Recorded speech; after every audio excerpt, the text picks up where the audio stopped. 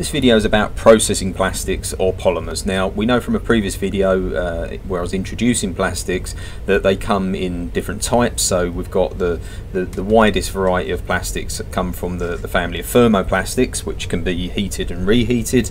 Uh, there's also thermosets and elastomers or thermoplastic elastomers which share many of the characteristics of thermoplastics.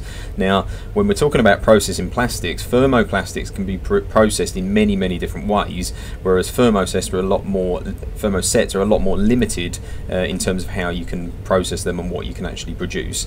Now, I'm going to talk a little bit about the different uh, processes, but effectively polymer processing can be broken down into three broad areas. Now the first area would be uh, moulding processes, where you take the plastics, probably normally in a sort of a, a, raw sort of form like plastic pellets or powders, and these can be formed in heat, uh, moulds uh, via heat um, to redistribute the plastic into different forms.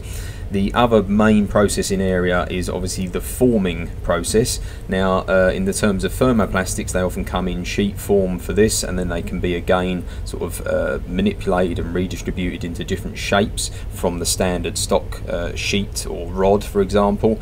And obviously, there are joining processes, how to join one um, uh, polymer or plastic to another.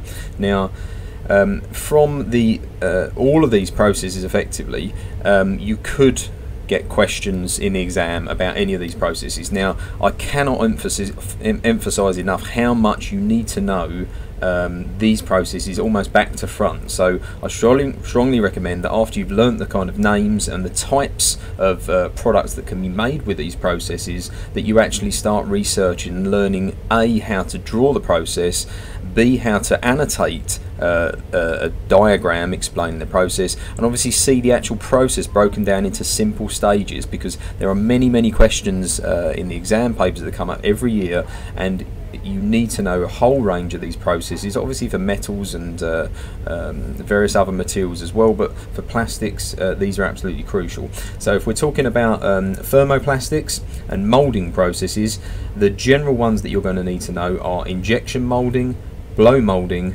rotational moulding, extrusion, and calendering. Now, moulding processes for thermosets, there is only one main process that you're going to need to know, and this is compression moulding. Okay.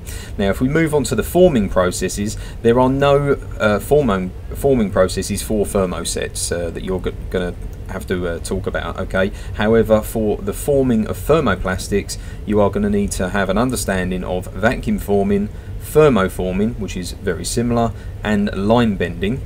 And in terms of jo joining processes, there are many ways that you can join plastics together, but in terms of thermoplastics, you can obviously join these with screws, um, integral snap fixings, which is obviously pr processing the plastic in such a way that they can be uh, snapped together, a bit like uh, like the two sides of a remote control, for example. Uh, captive nuts, so actually using a nut that is um, sort of uh, formed around in the plastic forming process to actually hold it in place. Obviously the use of adhesives, and this, this applies to any sort of material. Uh, thermal welding, so using heat to actually join the two plastics together, and ultrasonic welding as well, effectively kind of vibrating the plastics until they form heat and therefore can uh, join together. In terms of thermosets, you're a lot more limited because obviously you can't use heat to um, join these two uh, types of plastics together and you can't form um, captive nuts or fixings inside the plastic due to the limitations of compression moulding. However, you can join firmer, so it's obviously by the use of screw fixings or adhesives. So these are the general sort of uh, polymer processing um, uh, um, techniques and you are going to have to as I say have a broad uh, understanding of all of these to ensure that you kind of don't get caught out on the exams